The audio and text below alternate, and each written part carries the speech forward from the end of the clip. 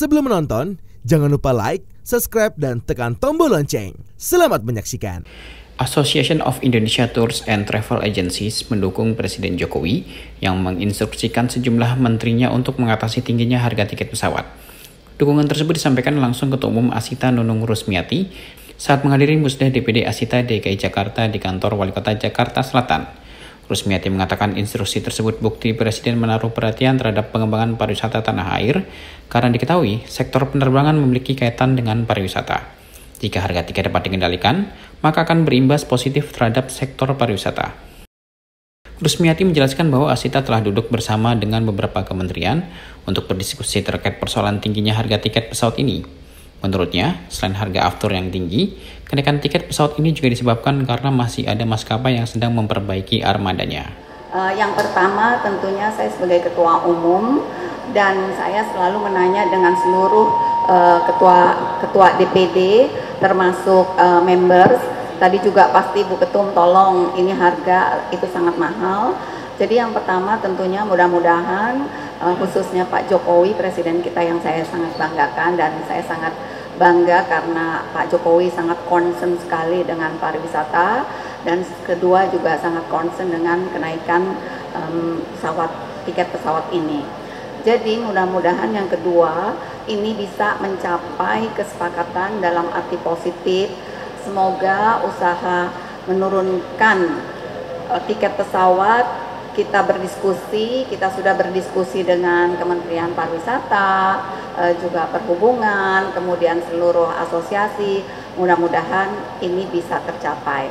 Dan ketiga, walaupun kita tahu memang aftur kita itu naik, uh, dan demand kita banyak dan banyak juga pesawat-pesawat yang notabene harus uh, di uh, untuk diperbaiki dalam arti karena dua tahun itu sudah tidak uh, berjalan. Saya termasuk ikut yang uh, waktu itu meeting dengan Garudanya banyak sekali yang masih uh, harus diperbaiki.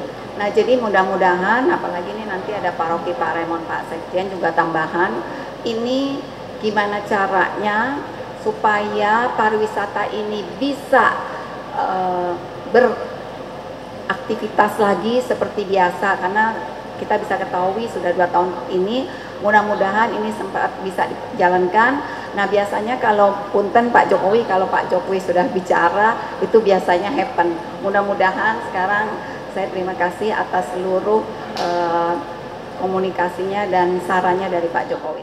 Pernyataan Ketua Umum Asita soal tingginya harga tiket pesawat ini diperkuat oleh Sekjen Asita Novel Saleh Hilap yang berharap kepada pemerintah dapat mengeluarkan kebijakan untuk menstabilkan harga tiket pesawat.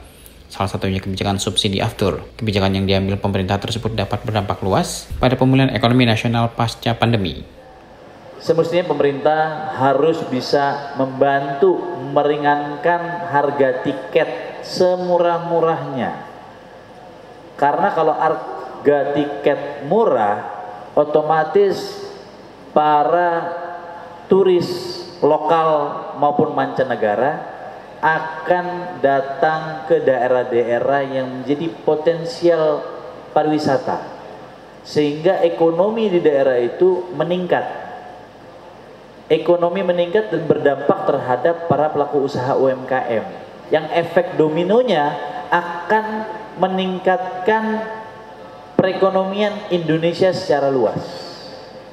Jadi dengan hanya mensubsidi atau memberikan bantuan bantuan terhadap penekanan harga tiket, tapi efeknya akan menjadi luas, ya, meningkatkan perekonomian daerah sehingga ekonomi nasional akan meningkat.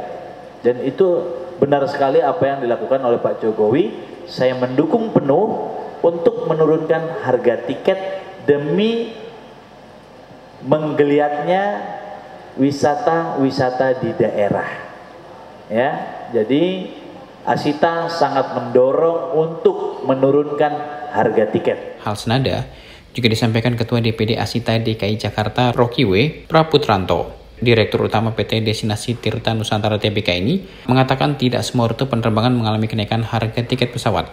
Hanya ada beberapa rute saja Kendati demikian, menurut Rocky, subsidi aftur dari pemerintah menjadi salah satu solusi yang tepat untuk mengendalikan harga tiket pesawat.